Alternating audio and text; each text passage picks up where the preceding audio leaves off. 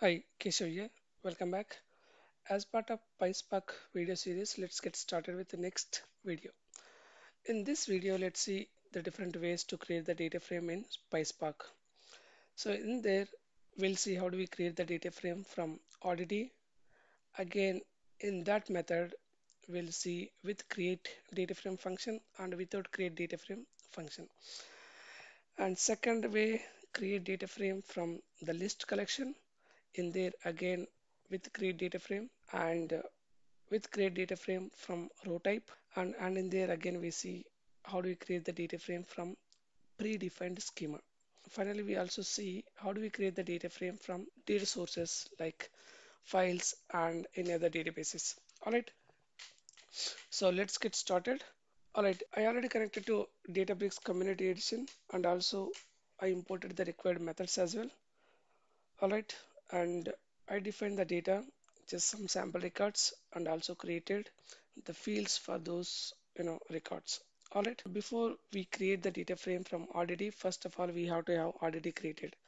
I'm gonna just create RDD here. So RDD equals to spark dot. I'm gonna create RDD with parallelize function. So spark context dot parallelize I'm gonna just call the data in here. So first I need to execute all the methods those I imported. Then let me just execute this.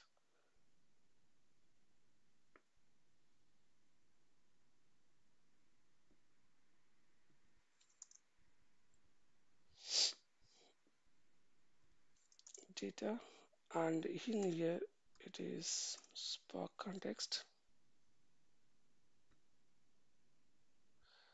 All right, it is context. Here it should be small. All right, so the RDD is created. Now let me see the data in RDD. So as you know that RDD is a resilient distributed data set. So in other way, you can say that it's a distributed data collection with no schema. All right. So RDD is created and there will be data in there. Let's see. We can see the data from RDD by using collect function. All right. There are three records inserted. In other way, we can we can even see the data with take function. So what are the number of records you want to display? You can just you know specify over there if I specify 5, there are only three rows. It has displayed all the three rows. All right. So now let's create the data frame. I'm gonna just say rdd to df. So rdd dot the first method I'm gonna create with create data frame function. All right. Let's see. This says spark dot create data frame.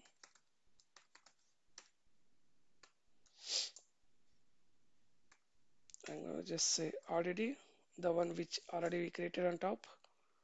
And 2df is the function we need to use. And now I'm gonna just say columns. We already uh, defined which has got required column names.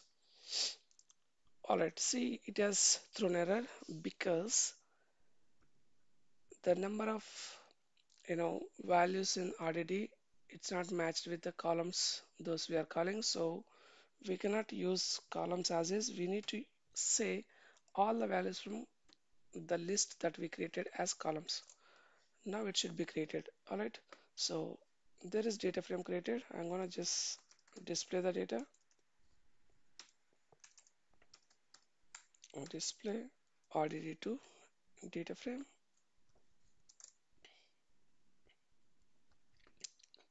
all right. So there is data frame created with required fields. Okay. Now let's see. Create data frame from RDD without create data frame function. All right. So I'm gonna just say RDD to df1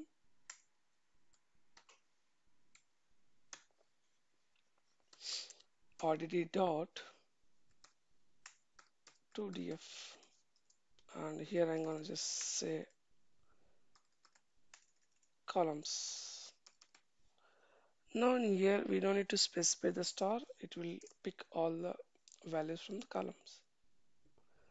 Alright now I can display. Alright. Alright so if I don't specify the columns let's see if data frame is created yes of course data frame would have been created but it's created without fields because RDD doesn't have schema. It has got the rows but it doesn't have schema. That's why you know data frame is created with some default field names. All right? So we want our I mean data frame to be created with defined schema. I would say that defined column names so I'm gonna just use again columns. Now see data frame is created with the required fields and rows in there. All right. So this is how we can create data frame from existing RDD one with using create data frame function and without even using create data frame function also we can create data frame from RDD directly. All right so now let's see how do we create the data frame from list collection. All right in there again we're gonna use create data frame function. I'm gonna just say so df1 I'm gonna say spark dot create data frame so in here I'm gonna just say data. So before we did not give data because we have already already created from RDD we directly created data frame. In here now we are not creating from RDD we are directly calling the data and then to df in here again we need to specify the columns. All right. Session create data frame all right. Okay. So now let me display the data from df1 all right. There is data frame created and data in there. So in the second method let's see how do we create the data frame. Using create data frame but it should be from row type all right first let's convert that you know list collection to row type. Here we need to provide two arguments to the data frame create data frame function. Those are row type as well as schema. Those two arguments we need to provide. Let's convert our list collection into row type. So I'm gonna say row data. So I'm gonna just you know convert that using map and lambda functions. I'm defining x then I'm gonna say row of all from x and data. All right so let me execute. All right it has executed. So now let me create data frame df2 equals to spark dot create data frame in here I'm gonna provide those two arguments. Row data which we created above and also the columns we already have defined there. Okay so columns it's small. That's okay. All right. It is executed and data frame also created now let me display the data frame.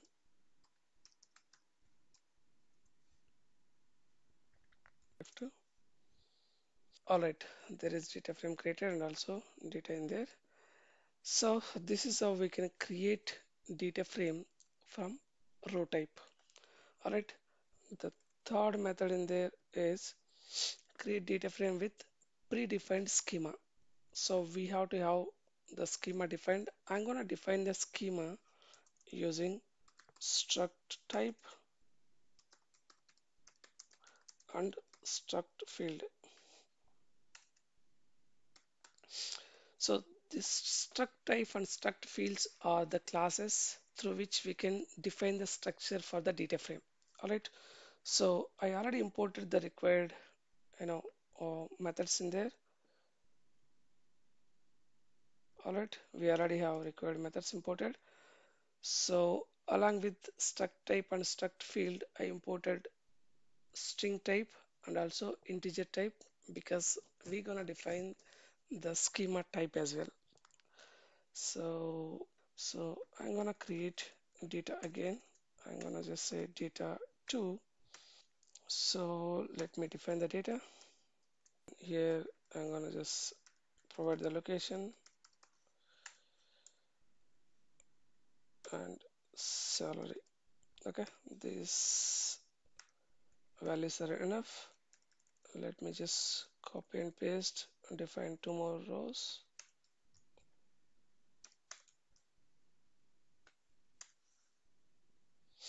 I think these two rows are enough for now. Let, okay, fine. So data 2 is defined. Now I'm to create the schema uh, by defining the types those we require. So I'm going to use struct type struct field. Struct field is to define the field name, to create the field name. I'm going to just say struct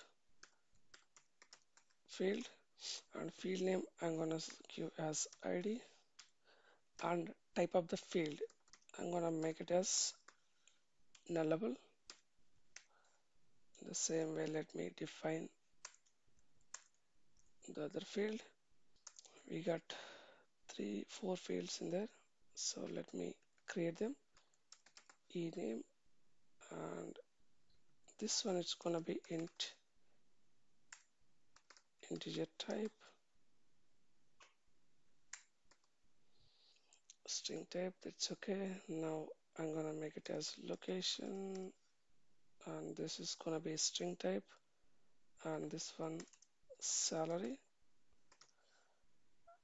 This gonna be integer type again. Let me take out this comma. All right we created the schema as well all right schema is defined. Now I'm gonna create data frame. Df4 equals to spark dot create data frame. In here I'm gonna provide data 2 and pass it like this. Okay so I'm gonna just display data frame 4 all right so there is data frame created and also required fields and rows in there. So we are done creating data frame with second method create data frame from list collection. All right in there we saw three ways using create data frame straight away with you know from list collection. And also we created data frame from row type and also we created data frame with predefined schema. So let's see how do we create the data frame from. Okay first let me see if I have already files imported into Databricks. I'm gonna say db utils.fs.ls I'm gonna list out all the files those we have in file store tables. That should be in single quotes all right so I got a lot of files in there so I'm gonna take the first one the CSV file. So let me create data frame from this file directly. So I'm gonna just paste it over here. So df5 equals to spark dot read csv read dot csv from the path copy this path directly. All right so I'm not defining any headers in there. So let me see. All right there is data frame creator. Let me just display.